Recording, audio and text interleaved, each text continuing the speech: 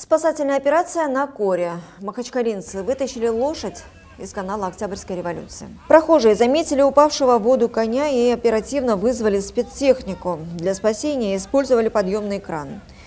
Двое молодых людей спустились в воду и привязали лошадь с помощью троса. После чего кран поднял их. Видео об этом накануне появилось в социальных сетях.